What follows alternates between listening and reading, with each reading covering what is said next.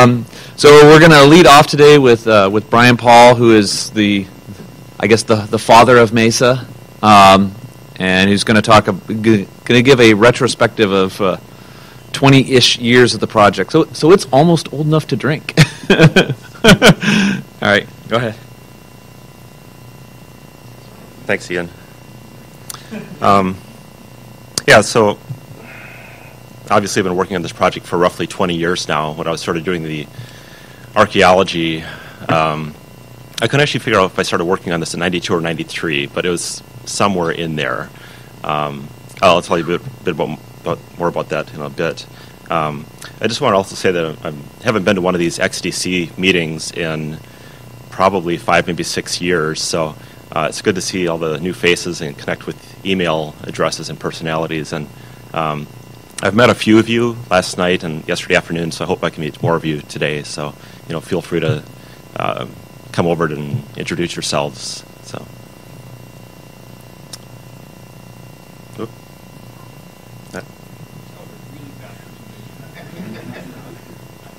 And I'm already missing a slide. Okay. Um, well, my first slide was going to say uh, just some introductory stuff about OpenGL. Uh, so OpenGL was first announced publicly in 1992, uh, and that was on the, I think, comp.graphics Usenet news group, which I used to read a lot. This was all pre-World Wide Web, of course. And uh, I remember SGI posted an announcement saying, hey, we've got this new graphics interface called OpenGL coming out. We've posted the man pages, some sample code, documentation. Uh, download it, take a look at it, and let us know what you think. Um, and uh, OpenGL was sort of born out of IrisGL, which was its predecessor. And I'd been working at the University of Wisconsin for about a year at this point, year and a half maybe, uh, working on a visualization package written with IrisGL. And um, IrisGL was really terrible. I mean, it was great in that it gave you access to this really high performance SGI hardware, but the interface was just atrocious. Uh, it was far more than just graphics, in fact. It had um, you know, a lot of the OpenGL concepts like rendering triangle strips and lighting and some basic texture mapping, but it also had things like create a window, uh, get the mouse location, uh, turn the keyboard click on and off, uh, turn the, the caps lock light on your keyboard on or off. Just anything you can imagine that you might want to use for a graphical application was thrown into IrisGL. So, um, and at this point, there was a lot of different graphics APIs. There's IrisGL, Starbase, PEX, PHIGS, and some others that you've never heard of.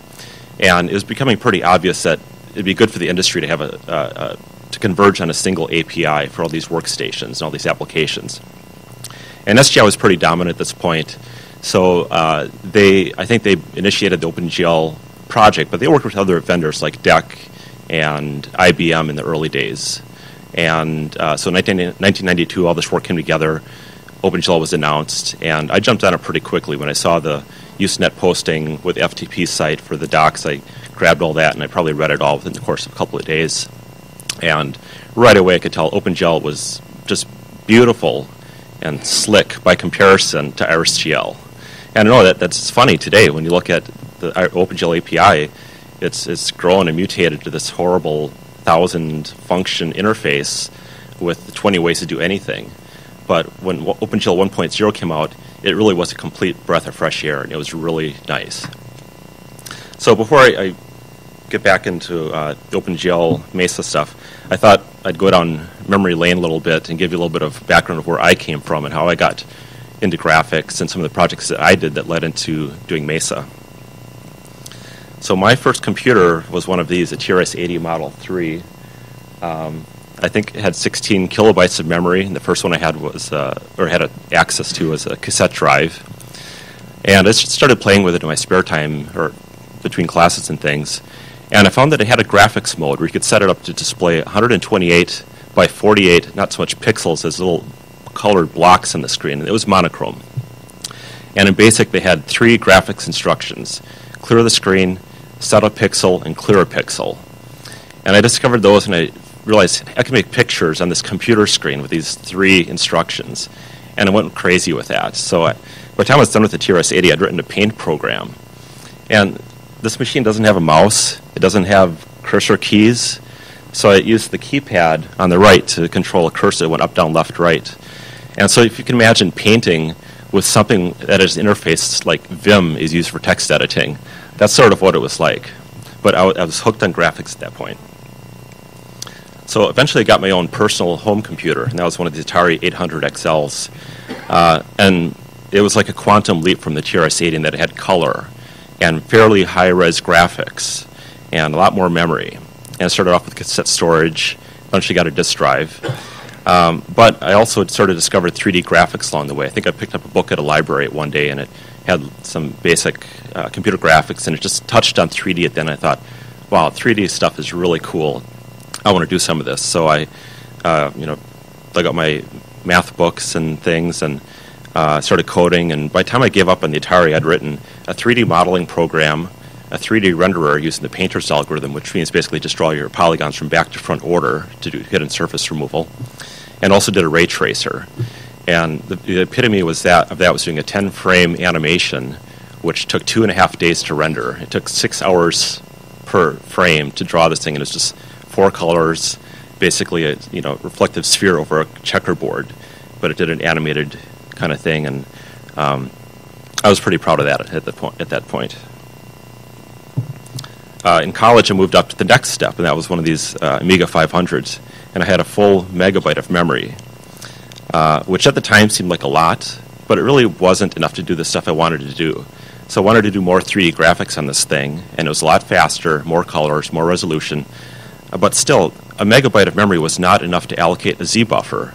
So suppose I wanted to allocate a 640 by 400 pixel, 16 uh, uh, bit per pixel Z buffer. Uh, that's in the order of 600 some kilobytes. And that was basically all the free memory I had on the thing. So there's no room left over for code or a color buffer. And so um, another way of doing 3D rendering and hidden surface removal is with the scanline algorithm, where basically you transform all your triangles to screen space, pull, put them all into a linked list, which is sorted from top to bottom, and then subsorted from left to right. And you basically walk along this data structure looking for triangle scanline intersections and filling in the pixels in between. Uh, eventually, I did a, a, one-line Z buffer, so you could actually do a Z buffer one line at a time as you march down the screen, and uh, that was actually a lot simpler and worked pretty well. Uh, but the main features I, I, did at that point were lighting and dithering. You know, with only with you know say 32 colors, you still need dithering to make things look a little better. And I did another ray tracer on that one too. So um, in the early 90s, I got out of college and started working at the University of Wisconsin in one of the engineering departments. And I got into the workstation graphics stuff big time. Um, in the early 90s, there were 3D workstations with real-time 3D graphics. SGI, Evans and Sutherland, HP, I think Tektronix had workstations back then, Apollo. Um, so the, there were these workstations, but they were really expensive. Uh, the machine we had was on an order of $180,000 with something like 128 megabytes of memory, um, you know, 24-bit display, which is really great. Um, and uh, so, of course, the price made it prohibitive for most people to use this kind of technology, even though they could have used it pretty quickly. And scientific, scientific visualization was coming up pretty hot in the 90s, and people saw that if, hey, you wanted to visualize something and you have this 3D interactive workstation, that's just the perfect solution, but it was too expensive for most people. And, and back then we had all these different vendors of different workstations. Uh, they all had their different graphics APIs. So uh, we were doing visualization software, and I think we targeted five or six of these workstations. So the graphics layer of the software targeted five or six different gra- graphics APIs. So it was a mess, and I, you know I had firsthand experience with all these things. Um, but it's, it's what you had to do at the point. Um, and so, yeah, I'd mostly been using IrisGL at that point, and um, I'd gotten pretty comfortable with it. But like I said, it was pretty ugly. So when OpenGL came along, that was just it. It's just obvious that that was the way to go. Um, but another thing was that, happened was that there were all these workstations sort of in the mid-range and below, which didn't have 3D hardware, but they had nice 2D frame buffers, uh, either 24-bit color or 8-bit color. Um, so there were a lot of these systems around, but they couldn't run our software because there was no 3D graphics support on those things. Uh, and so the system that I worked on was called Vis5D. It's for 3D visualization of atmospheric models, uh, data sets. Um, and we wanted to port it to these Unix workstations with 2D graphics. And so uh, somehow, uh, this is before the web, I found reference, probably in a Usenet news group, to this graphics library called VOGL or VOGL. Uh, it was written somewhere in Europe. I don't remember who wrote it or anything, but it was basically a, a subset of IrisGL doing just sort of the core graphic commands.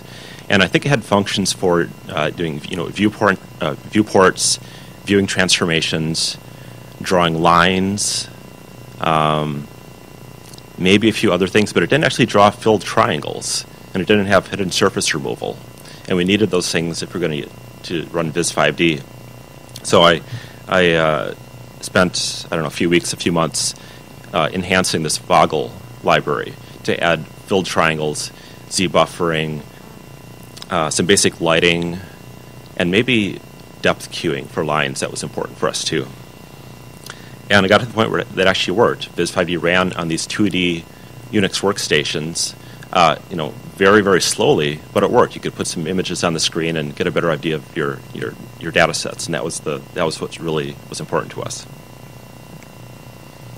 So, yeah, OpenGL arrives in 1992, and SGI was spearheading the effort, and, you know, they wanted OpenGL to just replace everything else out there. And some companies, I think like IBM and DEC, were pretty happy to change and leverage this technology. Uh, other companies like Sun and HP were holdouts. They didn't really, they weren't so keen on OpenGL right away. It took them a while. Yeah, yeah. PHIGS versus OpenGL was a big hot topic on Usenet newsgroups for a while. I remember that. Yeah. Uh, but anyway, I'd read the OpenGL docs, so I was familiar with it. And having used IrisGL, which was so terrible, I knew, well, OpenGL is what I want to use as a graphics developer. It's better than IrisGL and better than PHIGS and PEX and these other things that I'd used.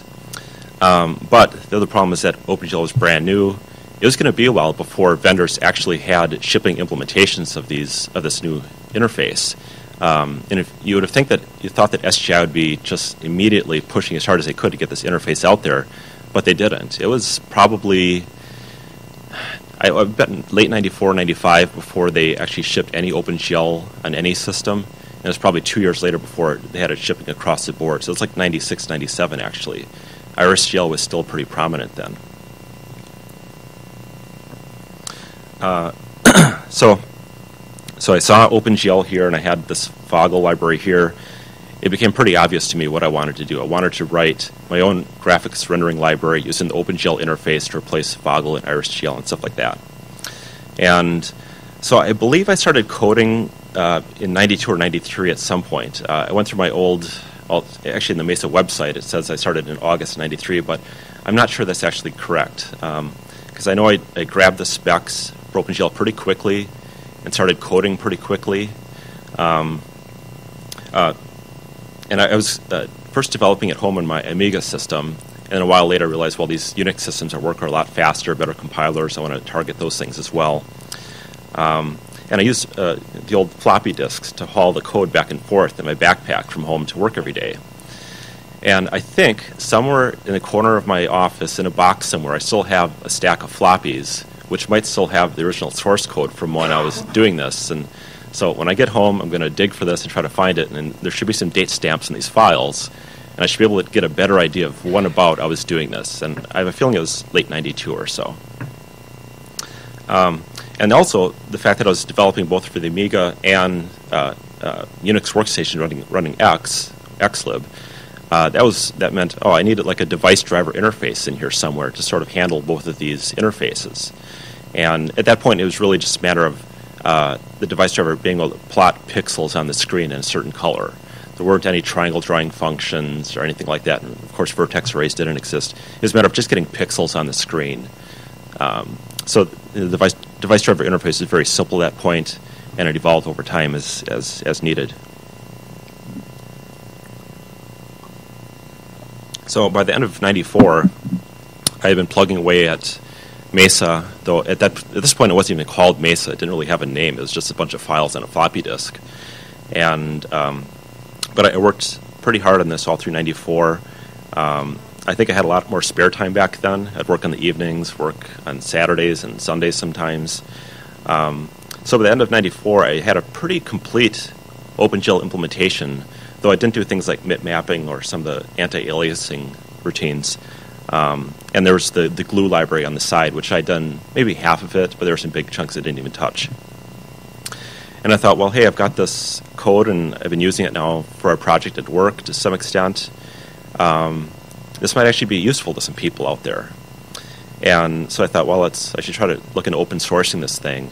And the first thing I did, of course, well, I, I, I thought was the right thing to do was to call or uh, contact SGI and say, hey, look, uh, I wrote an implementation of your new API. I'd like to open source it. Is that okay with you guys? And, you know, um, some companies, you know, suppose it would have been Microsoft that did OpenGL. If I'd have gone to them and said, hey, I'd like to open source this interface of yours, you know what the answer would have been. Uh, but SGI has some, has some really pretty reasonable people. Um, I contacted Mason Woo, who's actually one of the co-authors of the first edition of the Red Book, and I think he was OpenGL product manager at that point. And uh, a bit surprisingly, he was really open to the idea. He said, "This sounds really cool. Let me talk to our people here, and I'll get back to you." And uh, we had a little bit of back and forth on this, and um, they and they said, "Go for it." The only the only real restrictions on me were uh, don't use letters GL. Don't call it you know free GL or something like that. Uh, and also, please insert this disclaimer, which is still in the Mesa doc somewhere, saying uh, Mesa is not an official OpenGL implementation. It uses the API and acts like OpenGL, but it's not officially OpenGL. Um, but you know, by Actually, now that now it is official OpenGL. oh, yeah, yeah. we have the certification to prove it. yeah, I, I should probably take the. I could probably take the disclaimer out because SGI, as we know, it doesn't exist anyway. So, um, and as far as the name Mesa for the project uh, is concerned, it really it's just a name that popped into my head one day. Maybe I saw it somewhere and I thought, hmm, that sounds like a good good name for the project. And I really didn't put a lot into that. And to be honest, to this day, I, I still don't know what else I would have called it. so uh, the name stuck and it worked. So there you have it. Um, uh, so the other thing, uh, you know, the reasons I think SGI were kind of receptive to this free version of their OpenGL was that um, a they wanted to get this interface out as much as possible and have as many people using it as possible. Um, so I think they saw my open source version as a way to sort of, you know, push that goal forward. That you know, if, if an OpenGL library wasn't available for your computer X Y Z, you could download Mesa and you know be there 90% of the way. Um, and, and, and like I said, OpenGL implementations were really scarce at first. It was years before it sort of took off and started getting momentum and, and becoming widely available. So um, I think uh, Mesa really filled a hole in the ecosystem for a long time. So finally, I got permission to open source Mesa in early 95 and it was called the 1.0 beta release. And uh, I announced it on the Comp Graphics Usenet uh, uh, news group. And I, I, I, put it out there. I didn't have really any expectations for what people would, how people would, react to it, if it be of interest to people or not. And I really, really have a feel for how much interest there was for OpenGL outside of myself and uh, the, the, little bit of talk on the mailing list. Uh, but um, within days, it became clear that there's a ton of people out there who want to get into 3D graphics and use OpenGL. And before I know it, I knew it every morning coming to work, my email, my inbox would have dozens of emails with people saying, "Wow, this is really cool," or "Thanks a lot, we're using it for this and that." And by the way, here's some patches to fix some bug we found, or uh, it didn't compile because of this this uh, idiosyncrasy of our compiler. So here's a patch. And uh, so I, I, I, needed to get a little bit more organized. And so, gee, there's this thing called the World Wide Web nowadays, and I should maybe make a web page. So the first web page I ever made was for Mesa. Uh, you know, the web was around for some years at that point, but it was just sort of getting traction. You know, the Mosaic web browser had just come out the year before or so, and uh, the web stuff was kind of new to me too. But uh, I thought, well, yeah, a web page might be good for this project. And then, uh, oh, how about a mailing list? We can actually I, so, so I could sort of remove this, move the discussion out of my inbox to something that works for a group of people, just rather than myself. Uh, so, so the whole project really ramped up really quickly in terms of uh, the, the, the people using it and contributing to it and, and discussing it and things. Um, and I didn't have email access at home, so uh, I was trying to do this like early hours in the morning before I started my real work, or in the evenings or on the weekends. And uh, you know, my but my supervisor Bill Hibbard was really supportive. You know, he saw that this this library could be really useful to people. We were using it for our project at that point, so he said, you know, if you need to spend a couple hours a day uh, tending to email and patching and fixing and stuff like that, then go ahead. So um, you know that really worked out great for me. So I, in many ways, I owe Bill Hibbard a lot of credit for where the things I've done and the, uh, the things I've learned over the years. So, what were some of the issues in the big, or some of the big issues in the early days of Mesa? It's kind of some of the stuff we still see today, compiler issues. You know, back then, Mesa was running on, say, six or seven prominent workstation uh, systems, and every workstation had its own variation of Unix. So you had IRIX and, IRIX and AIX and HPUX and um, SunOS and things like that. The compilers were all different, and so a lot of the headaches came from compiler incompatibilities and making the code as cross-platform as possible. Uh, another big issue was actually just displaying images on your screen and getting a nice quality image. Uh, back then, uh, you know, 24-bit displays are pretty expensive. Uh, I'm not sure there were many uh, affordable PC cards with 24-bit graphics. They were most all 8-bit, occasionally 16-bit per pixel. And so dealing with color maps and dithering was a huge thing back then. Um, uh, years ago on X servers, if you had an 8 bit display, you could basically allocate a color map per window. And as you moved your mouse from window to window, the color map would get swapped out, the hardware color map. And so you'd looking at this window with your mouse pointer and it looked fine, move the pointer out to a different window, and all the colors would go haywire. And it was a mess. So there's this thing called shared color maps. So we tried to allocate, uh, Mesa tried to find the shared color map and allocate its colors out of that and then find out which colors were available to it, and set up dithering tables, and use that when you're drawing. And then HP had uh, something called HP Color Recovery Dithering System, which simulated 24-bit color quality with an 8-bit display if you used certain dithering patterns in just the right way. And so, you know, we spent days and weeks just working out dithering patterns and trying to improve the image quality on the screen like that. It seems crazy today, but that's the kind of stuff that uh, you know I fought with in the early days. Uh, another issue I had was that I was working on Mesa and had no revision control whatsoever, except maybe some uh, occasional snapshot of backup files copied to some other directory. Uh, I had used SCCS in the past, but I didn't have it in my SGI system, and I don't think we had RCS at that point. There wasn't I don't know if it was just not installed. I don't know, but would it? Okay, okay. I don't. I don't remember having it for some reason. So anyway, um, I didn't have revision control for quite a while. I, I, think I'd have to guess the date that I started. So I had started at some point. I did start my own revision control, control and then um, SourceForge or the predecessor to it, whatever it was called, was like one of the first early open source web based project hosting things. And um, uh, the guys at VA Linux had started this, I guess it was VA Research back then. And uh, somehow I got connected with one of the guys there, and they said, Hey, do you want to host your project on our new website for open source projects? And I said, Sure, yeah, it sounds great. And so I think that was roughly 97, 98 maybe, when I finally had public hosting of the source code in a proper revision control system. But for a long time, I didn't have anything at all. So, um, another issue in the early days was performance. Um, you know, this is back in the days when a PC had like a say a 16 megahertz 386 processor or something like that, and workstations were quite a bit faster, but still not super fast. Um, you know, calling uh, Mesa and uh, interactive 3D graphics was kind of a stretch sometimes because as soon as you tried to draw more than say a thousand triangles per frame, you know, it was pretty slow, jerky kind of motion, especially when you're doing spending all this time doing dithering calculations. Um, so performance was definitely an issue in the early days, and I did spend time trying to optimize things as much as I could, but uh, you know, machines were slow back then. Um, so I had these problems, but on the other hand, OpenGL was still pretty small back then. The API had maybe a couple hundred functions, I guess, if you consider all the different vertex and normal color variations.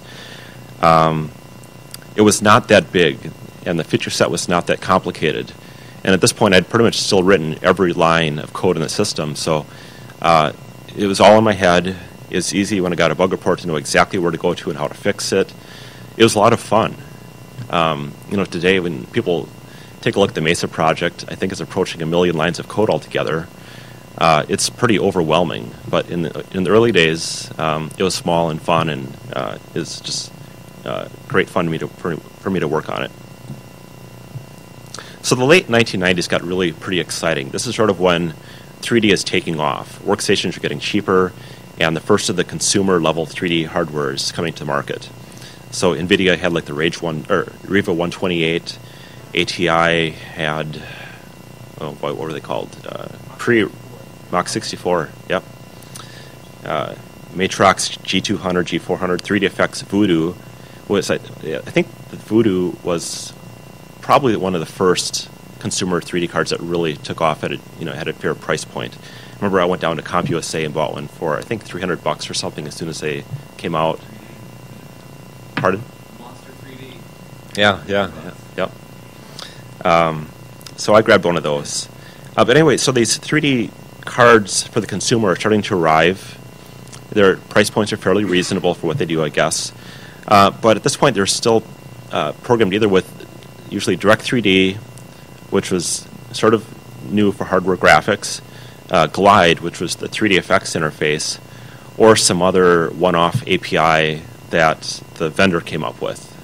Um, there was actually very limited OpenGL support at that point. You know, there were some. Uh, I think 3D Labs more professional oriented, so they had some 3D. Uh, they had some OpenGL drivers for their stuff, uh, but otherwise there wasn't too much.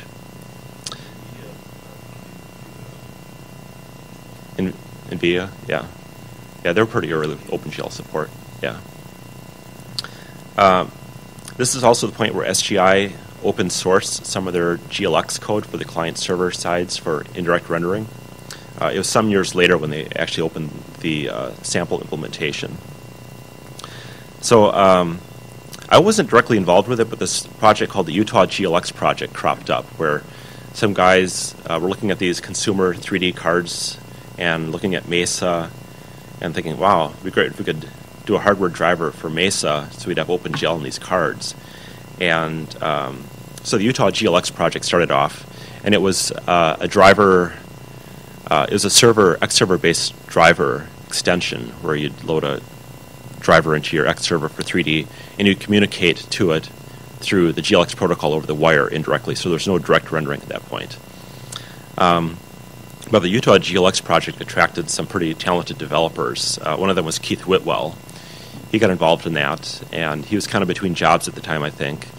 And uh, uh, so he jumped into Mesa, and I was just blown away by how quickly he sort of tore things apart and rewrote things to, for example, improve vertex transformation speed. Because these early cards uh, handled 3D uh, rasterization, you know, texturing, Z buffering, blending, stuff like that, but they didn't do vertex transformation. You had to still do that in software, and that was usually a bottleneck. So Keith got involved and optimized vertex transformation and stuff, and he was really on a roll. Uh, but he needed a job to survive and pay his rent and stuff. And John Carmack, of all people, had gotten involved in the project too because he wanted. He, I think, I don't know all the details, but you know, he was working on Quake and Doom and that kind of stuff, and wanted hardware acceleration. And I think he was interested in graphics or 3D graphics and OpenGL stuff. So uh, I think he got involved for a bit. And when he learned that Keith needed some funding, well, he you know, uh, contributed ten thousand dollars to the project. He actually sent it to the project and asked me, "Well, what do you want to do with it?" And I said, "Well." Keith Whitwell is doing some great work, it'd be great if he could continue. He needs some income, so I basically just uh, handed it off to him. And late 1990s uh, was when Precision Insight was formed uh, by Jens Owen and Frank LaMonica. Uh, I think it's the four of you that started it. And um, they were doing uh, contract driver development work for XFree86. And uh, they recognized that 3D was a big thing coming down the down the horizon or down the road. And um, you know, they were aware of Mesa, and I met Jens and Frank at SIGGRAPH uh, 99, I believe. And they said, hey, it'd be really great if you get involved in this project we want to do and join our company. And, and it took a little while, but in September of 99, I joined Precision Insight. And for the first time, I could work full time on OpenGL and Mesa and GLX and Xserver and stuff like that. And, and that's sort of a, a, turning point for me because before then, this was all spare time uh, work for me. So, getting to more recent times here, uh, in the 2000s, uh, the DRI, which was developed by PI, uh, really got traction. Uh, it's obvious we wanted to have direct rendering to maximize the performance of our, our Mesa OpenGL rendering on these cards. So they developed the DRI, and that worked out pretty well. Uh, PI was acquired by VA Linux. VA Linux went through the dot com bust like everybody else, and we all got laid off. And then Jens and Frank and Keith and I uh, started um, uh, Tungsten Graphics in the fall of 2001. And so it was like Precision Insight version 2, kind of, because we wanted to do the same kind of work. We wanted to develop uh, 3D uh, drivers for consumer hardware. So we continued that work all through the 2000s. Uh, in 2008, that's when Keith Whitwell started the Gallium project. Uh, he sort of took a back, took a step back from the Mesa code base, looked at it, and said, well, we've got this device driver interface, and it's okay, but it doesn't really do, it's not really a good match for what real graphics hardware looks like. Um, you know, things, things kind of diverged at some point in terms of the software and hardware with graphics. You know, SGI was out there in front with their graphics hardware and their API, which was you know designed for that hardware to be efficient. So it's you know per vertex uh, drawing kind of stuff. Uh, the PC graphics cards came along and they weren't really designed that way.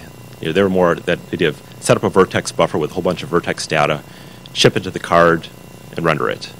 And there wasn't really a great match for uh, for OpenGL at that point. You know, OpenGL added vertex arrays, um, but it was kind of after the fact. Um, so you know, Keith was looking at the uh, Mesa interface and thinking, well, this is kind of, there's kind of a mismatch here. Let's try to put in a new interface, which is a better match for graphics hardware, which uh, which we will target in Mesa as a device driver interface, and that's sort of you know some of the things. Well, and he also saw that there was a lot of code duplication going on between drivers, and Gallium was a way to sort of refactor things and organize things a little better, so that uh, dr- drivers are really just device drivers and not OpenGL drivers. If you know what I mean. Um, so that's where that came from. And also in 2000, of course, that's when we had programmable shading come on the scene. So we had uh, NVIDIA, I think, was the first with their Vertex uh, program extensions. And that quickly led to the OpenGL shading language from 3Dlabs and OpenGL 2.1. So here we are uh, today. Um, uh, so in 1993, I had no idea that this project would be successful and last into you know 10, 20 years later. Um, you know, I, I, guess I sort of had the frame of mind that you know once OpenGL takes off, the vendors they'll all just do their own OpenGL libraries for Windows and Linux and put it out there, and there won't be any need for Mesa anymore. But it seems like there's always some reasons for Mesa to uh, persist anyway. Uh, even to this, this day, people still want software rendering. So people still use the old software swrast code and llvmpipe for things like that. Uh, the OSMesa interface, people still use and need that stuff. Um, and luckily, open source in general has been a pretty successful area. And so people recognize that having an open source graphics uh, graphics driver is of value. They can take it and adapt it and use it for all kinds of new projects. Uh, but yeah, like I said, uh, I didn't expect the project to go the way it did. Um, you know, we've got hundred, well, many active developers today. There's been hundreds of contributors, maybe a thousand over the years. Uh, there's commercial funding for Mesa development, which I never would have dreamed in my you know, wildest that uh, would happen. Uh, just a few months ago, somebody at VMware asked me, "Well, how big is Mesa? How much code is there?" And I did a really rough um, word count scan of the tree. Does that include? Okay.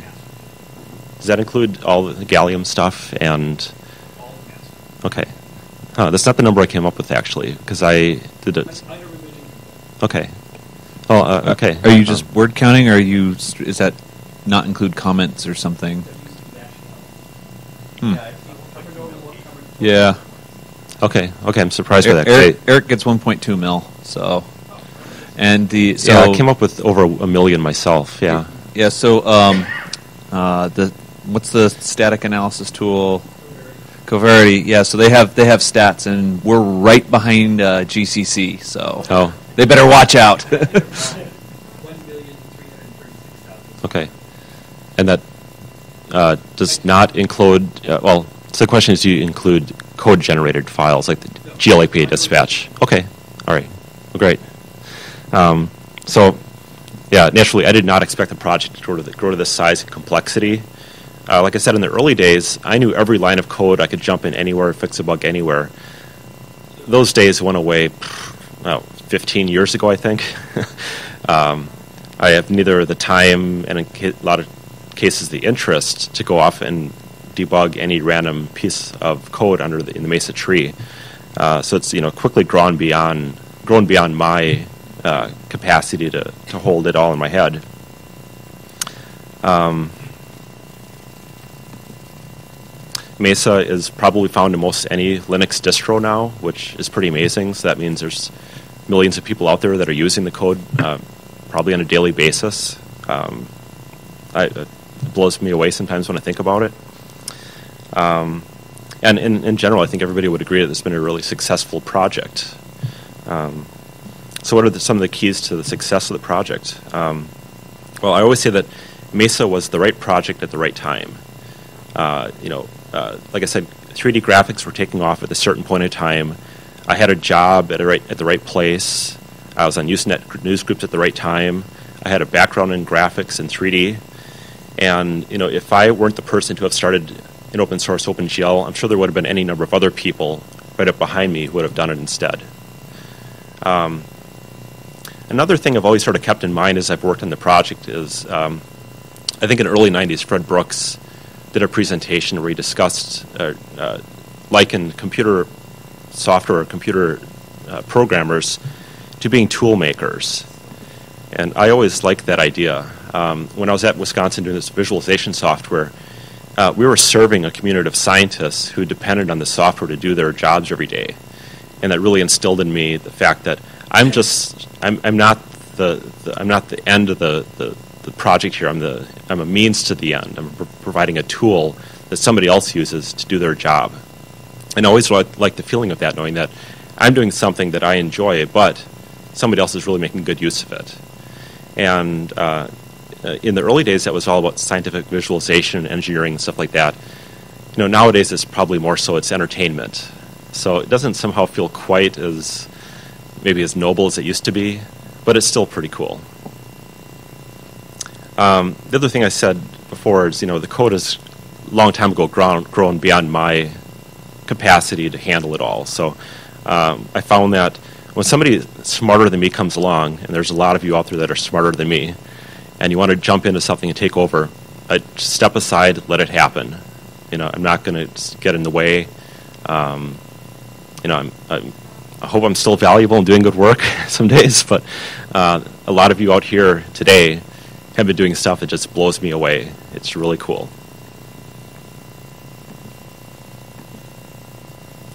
Um, the other thing I like is that the Mesa development community has been pretty civilized. Um, you know, I I always like the golden rule: treat others as you like to be treated yourself. Uh, so you know, no insults. don't scream at people, don't call them names. You know, there's other open source project leaders who do that kind of thing, and I just, I, I just don't like it. So I'm really glad to be involved in a project that has a fairly good reputation for being friendly to newbies, and uh, uh, people generally get along. Uh, probably the most significant reason I think for the success, success of the project, though, is that we have a specification. Consider for a moment if we were working on a graphics API of our own design. You know, we have disagreements about how things are implemented sometimes, or structured, or organized. Can you imagine the the battles that would happen if we were designing the API itself and specking out the interface for users and developers? Some of you, yeah, some of you can.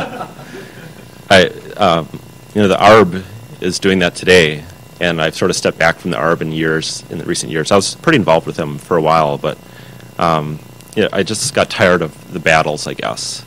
I've never been a big uh, fighter for things, so, uh, you know, like I said, thank God we have a specification that we're following. We have somebody laying out the roadmap ahead of us, and we're just, you know, we're the carpenters actually building the, the, the building the house that somebody else designed. So, uh, just to wrap up, I want to just uh, uh, thank a few people. I mean, um, like I said, this project has grown far beyond anything I would have imagined, and uh, that's because all of had some really talented people jump into the project, contribute, and take it far beyond anything I could have done myself. Um, yeah, I've been super impressed by the work that other people do, um, whether it's device drivers or compilers or the infrastructure like Keith did on Gallium. Uh, uh, just amazing work that I never could have done myself. And finally, uh, the project, the Mesa project, has sort of been my calling card. I can go almost anywhere in computer graphics circles, and people know my name, and I've gotten to know so many people in the, in the industry because of that uh, it's just amazing. Some of my uh, uh, closest friends I've met through the Mesa project, and uh, I could probably travel almost anywhere in the world and find somebody that I've had a, uh, a rela- relationship th- with through the Mesa project, and that that I think also is a very cool fallout of this. So, and that is the end. Um, I don't know if we have time, or right on the, the button, I guess. But if anybody has any quick questions they want to ask, that'd be fine.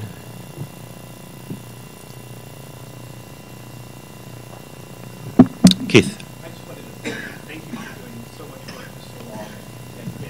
open source project. I just wanted to thank you for doing so much work for so long and creating this great open source project that we can use today. Well, thanks. I think I'm thanks. right with saying that we should all thank you. Thank you.